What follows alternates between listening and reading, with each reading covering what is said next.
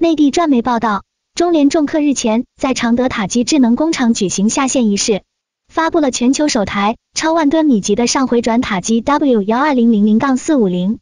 据介绍，该产品重达四千吨，额定起重力举达幺二零零零吨米，是全球首台超万吨米级的上回转超大型塔机。其最大起重重量达到四百五十吨，最大起升高度四百米，相当于可以一次起吊三百辆小轿车至一百三十层楼的高度。用于谢绝桥面安装吊载大、就位精度要求高、高空吊装难度大、江面施工风速强等一系列桥梁施工难题，可大幅缩短施工周期，节约施工成本。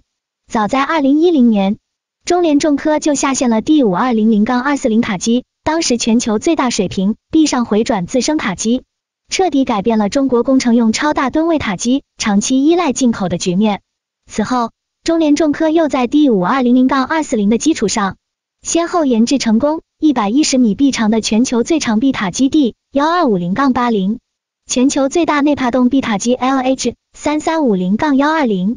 全球最大风电动臂塔机 LW 二三四零杠幺八零等一系列大塔装备。这些产品已被应用到全球各地的建设现场，涉及桥梁核电火电风电水电超高层场馆等各个领域。